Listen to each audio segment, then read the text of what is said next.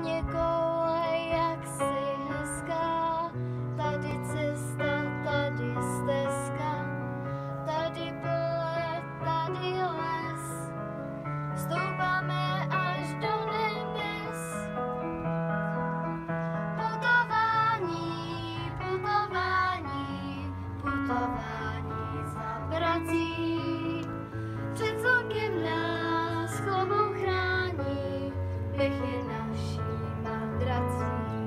A to, že eh, začíná léto, tak je určitě dobře, protože budou ty dva měsíce, jak ono se to jmenuje, od p...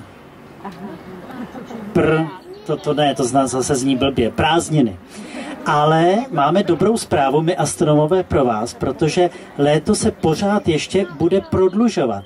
Protože ne každá roční doba je úplně přesně stejná a do roku 3000 se prodlouží o 6,5 hodiny na naší země kouli.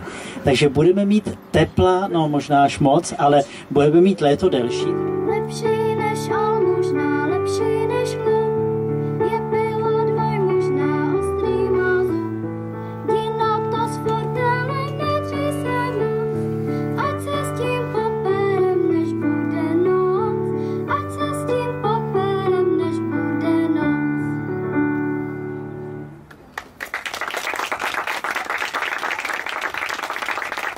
No je to prostě čestné členství panu Pavlu Suchanovi za dlouholetou podporu Hvězdárny žebrák.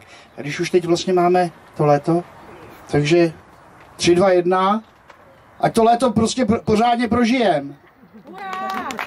Přesně tak.